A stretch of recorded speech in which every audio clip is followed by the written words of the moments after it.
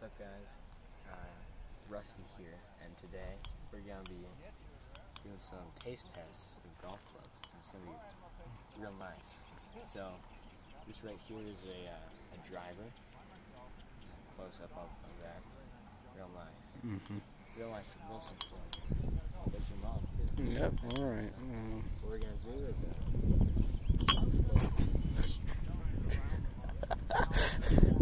it's kind of metal. It's not that good. Let's try another one. here, uh, six, uh, six iron. No, six iron.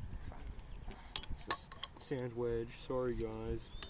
So now That's the finale. Sand wedge. hurry up. sand. Hurry. No, that's a six. You idiot. Six. Sorry. All right. Grab my driver. It oh, tastes you already. like algae. Tastes like algae. All right. Grab the sandwich now. Alright. Ju- this is a sandwich. right Just practice in the bunker, by the way. Yeah. real sandy, like powder almost. Like it's real nice. Uh, and your driver, which you hit quite a bit. Quit laughing, you'll ruin the audio. This is really salty, actually.